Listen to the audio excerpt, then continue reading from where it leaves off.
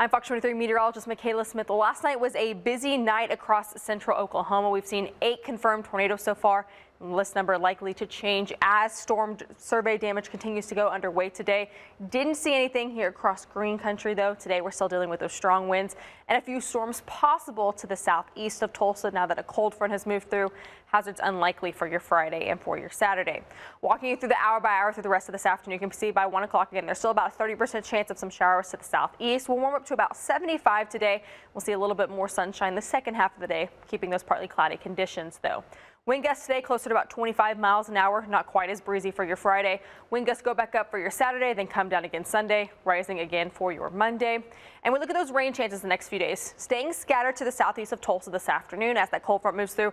Very isolated chances tomorrow for your Friday. We're dry on Saturday, and then there's isolated rain chances to the south of Tulsa on your Sunday. Today, that severe risk you can see again very low across Tulsa. Our risk is done now since that storm system has moved through.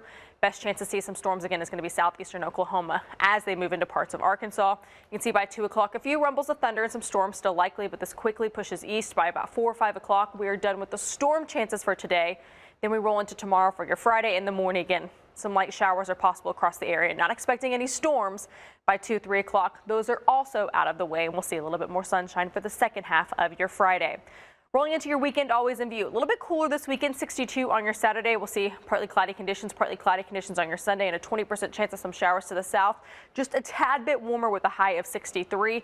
And much of those temperatures next week will actually be below average. 75 today, 70, so just slightly cooler for your Friday. Then the 60s Saturday, Sunday, and through Monday. Starting on Monday, though, that's going to be multiple days that we're talking about the chance for some showers and a few storms possible, but much needed rainfall. Again, that continues really Monday, Tuesday, Wednesday through Thursday.